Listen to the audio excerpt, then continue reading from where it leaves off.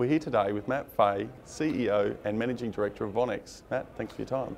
Thank you. Are you able to share a little bit about Vonex? Yeah, so Vonex is a technology business um, specifically focused in the telecommunications area.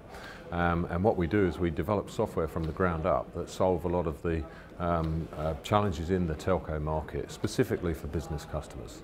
What differentiates Vonex from other telcos in the market? I, I think the key is because we are a development company with the skill set to provide the software ourselves.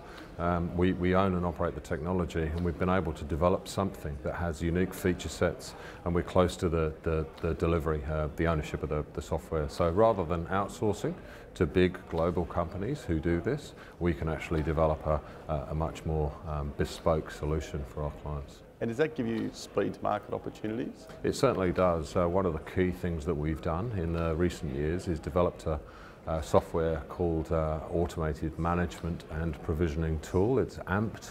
Um, and that has cut down the provisioning and deployment time of a business phone system to, to minutes from weeks. The rollout of the NBN in Australia creates a unique opportunity it's significant um, and it, it's really ahead of us rather than behind us, although there's been a lot of talk about the NBN. Uh, the real activity that's meaningful for Vonex is in, in front of us. Um, that uh, construction of the network that's now happening in the capital cities is, is, is on the doorstep of our key target market customers, which are our business customers. And we have an, an enormous channel partner network spread around Australia that can actually personally onboard those customers. And in terms of recent developments? Recently, um, we had a big win in our wholesale business where we won a client uh, called Inabox, which is an ASX listed company.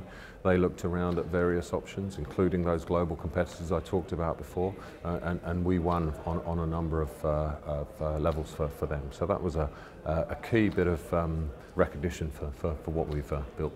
And you have an offer document open for an IPO onto the ASX. How important is that to your growth plans? It's, uh, it's extremely important. Um, we require the capital from the IPO to inject now. Um, everything is uh, about timing in our business and the next 36 months is the key window of time where we have an opportunity to land grab a meaningful number of customers from that NBN migration. So the capital now is essential to really get that rolling. And for investors, what should they focus on from the company looking forward?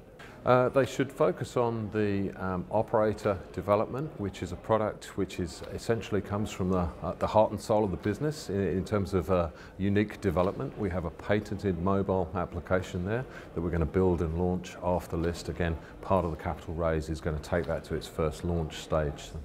So you're a real business with real revenue and real customers? Uh, absolutely, yeah. R rather than just being an idea with a, a technology.